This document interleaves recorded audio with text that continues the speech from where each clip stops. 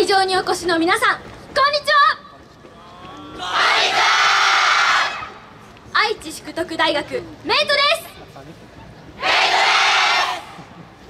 パレード大賞本当に本当にありがとうございます。私たちメイトは遠藤寺商店街を題材にしています。繊細やシャッター街を乗り越え今もなお進化し続ける遠藤寺商店街の活力を表現します。それでは精一杯演舞します。どうぞよろしくお願いします。